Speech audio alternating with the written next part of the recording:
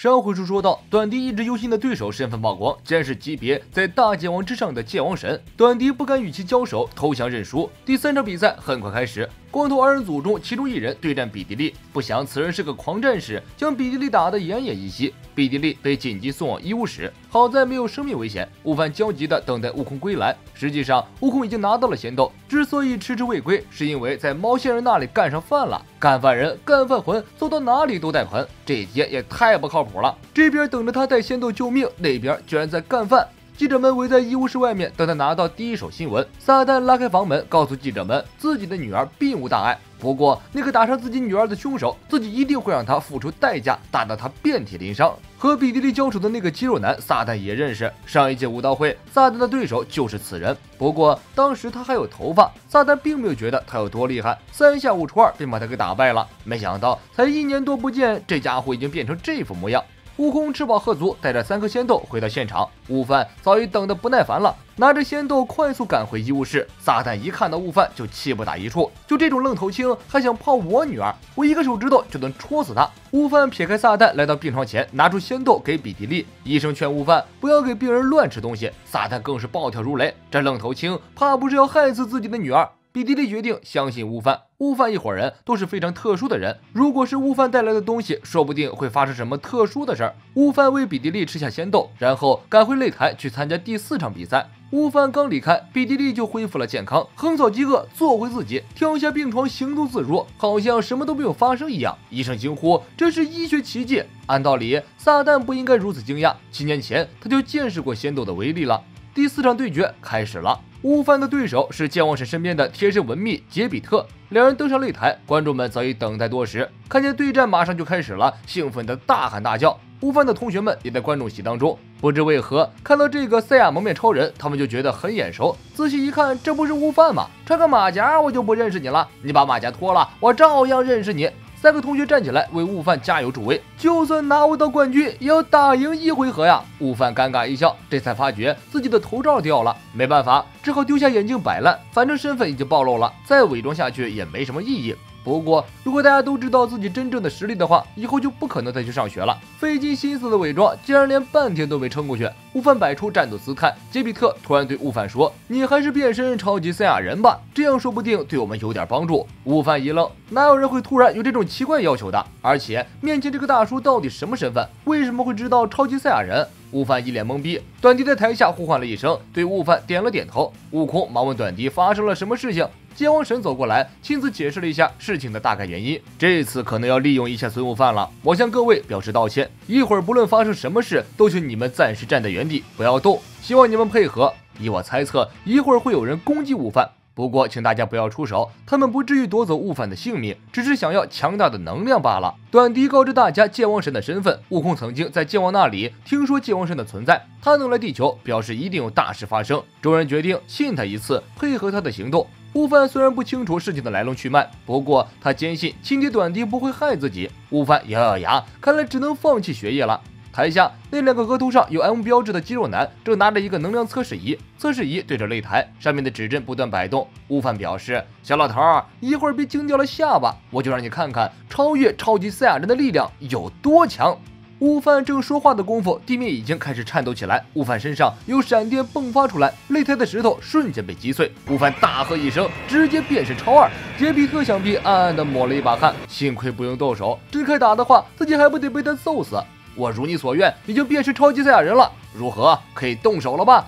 台下肌肉男手中的测试仪指针疯狂旋转，两人兴奋不已。没有错，就是这小子，动手！这个能量我们要了。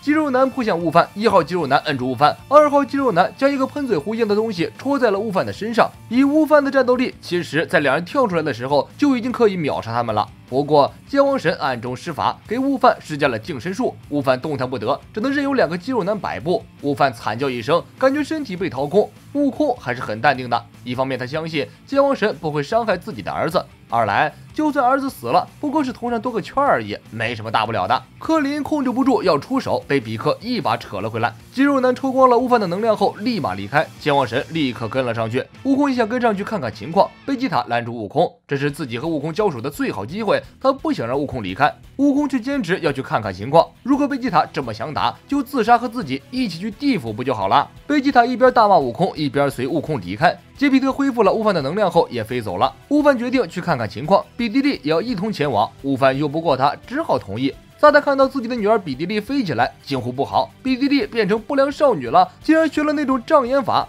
悟空一行人很快就追上了剑王神。剑王神看到悟空后松了一口气，他告诉悟空。如果没有他们这伙人助阵，自己恐怕赢不了。刚刚那两个肌肉男只是被人利用的工具而已，背后有一个名为比比迪的邪恶魔法师，他制造了一个非比寻常的恐怖生物，是一个名叫布欧的魔人。魔人布欧没有理智和感情，是一个只会破坏的杀戮机器，简直就是给苍生带来恐惧的生物。在短短几年内，数以百计的星球就因为魔人布欧的关系变成了死星。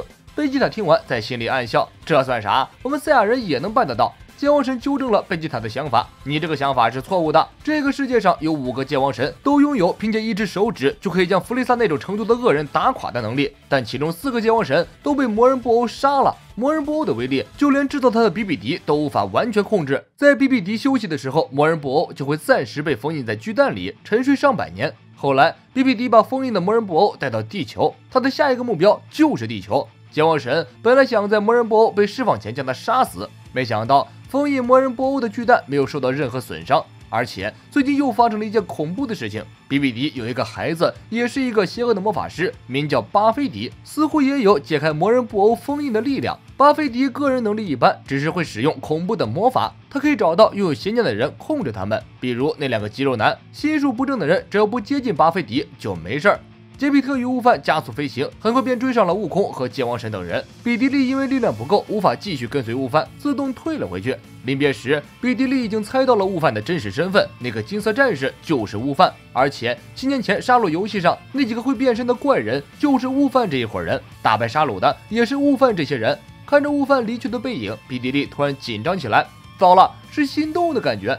一行人一路尾随肌肉男，来到了一个没有人烟的荒郊野岭，在这里。他们看到肌肉男降落的地面，进入到了一个小小的房子里。剑王神提醒诸位隐藏气息。悟空敏锐地发现周围的土地有被翻动过的痕迹。杰比特恍然大悟，怪不得一直都没有发觉巴菲迪的行踪，原来这家伙把飞船藏在地下了。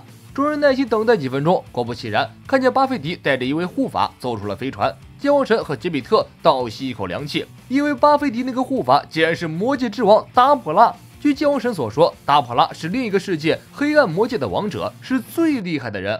这里我吐槽一句，剑王神实在太小看超级赛亚人的能力。他认为的强者，也许都架不住赛亚人一个回合。而因为剑王神夸大的描述了达普拉的厉害，所有人都被他给唬住了。如果不是剑王神极力渲染恐怖气氛，也许悟空等人一拥而上，就能将巴菲迪、达普拉等人直接一锅给端了，也就不会有后面的布欧事件了。巴菲迪拿到能量后，随手将肌肉男兄弟给杀了。看得悟空等人瞠目结舌，就算是弗利萨大魔王，也没对自己的部下如此凶狠吧？巴菲迪的残暴颠覆了大家的认知。接下来，悟空等人将会有什么样的行动呢？